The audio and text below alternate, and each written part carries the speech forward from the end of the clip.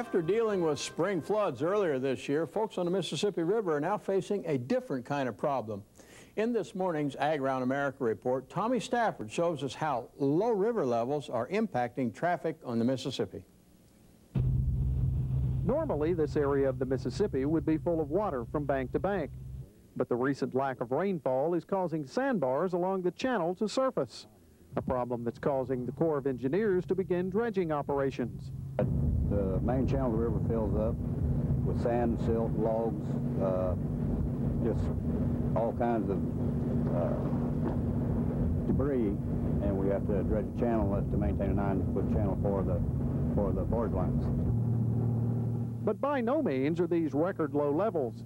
In 1981, the river fell to a minus 6.6 on the Memphis gauge, creating all kinds of traffic problems but even moderately low levels can affect those using the river for transportation. Low water levels on the river not only make it harder to get around, it costs money too. When the river's low, you can't load your barges as heavy. They'll hang up. If you've got a one corner that's loaded too deep, they won't pick it up because they're afraid they're going to hang. Uh, when you've got 35 barges in a tow, you don't want anything to hang. Under normal conditions, you could load a 14-foot hull barge with grain to where it sets about 12 feet below the water's surface. That's about 80,000 bushels of grain. With a low river, that figure drops to about 10 feet or 66,000 bushels of grain. Not good for the granaries, but good for folks like Harold Smith, who runs a harbor service. And of course, the shallower it gets, the swifter it gets.